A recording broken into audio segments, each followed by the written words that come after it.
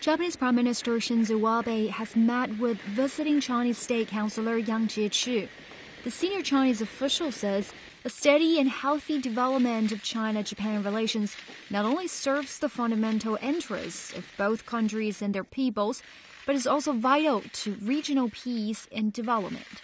Chinese State Councilor Yang Jiechi came to Tokyo for the second China Japan high level political dialogue.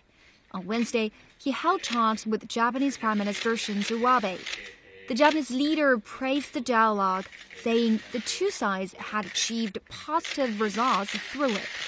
He said establishing a stable and friendly Japan China relationship is helpful to the development of global peace and economy, since China and Japan are the world's second and third largest economies.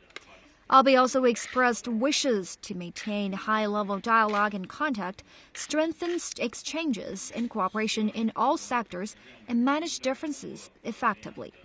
Chinese State Councilor Yang Jiechi said Japan should abide by the four point principled agreement, properly handle sensitive issues such as those in historical and military security areas. Yang visited Tokyo from Tuesday to Wednesday at the invitation of the head of Japanese National Security Council.